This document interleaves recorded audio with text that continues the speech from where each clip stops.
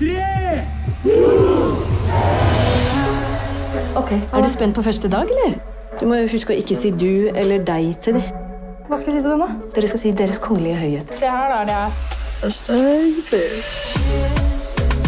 Vi har en ny elev. Hun heter Lene.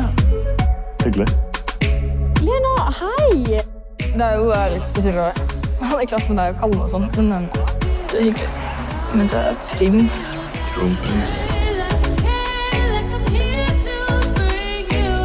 Alle steiner må snus når det kommer nye folk inn i familien. Spesielt alle jentene du drar inn. Med mobiler og null grenser. Det må være litt sånn pretty woman-opplevelse for deg. Kaller meg en hore.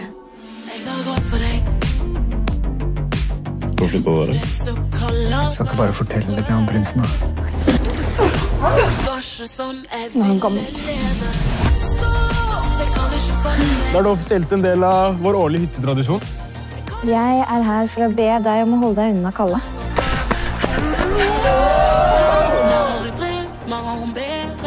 Er ikke jeg som har spredd det der bildet. Ikke? Men du bare aner ikke hvor stress det er. Da skal du spremme masse rykke bilder som ikke skal representere hvem du er, når du ikke aner hvordan noe henger sammen. Og det viser seg at den største løgneren, det er deg. Jeg er ferdig med å leve det. Det er Prøve. Jeg prøver på det. Å vise hele litt sånn jeg, liksom. Lite og glatt og skjulting.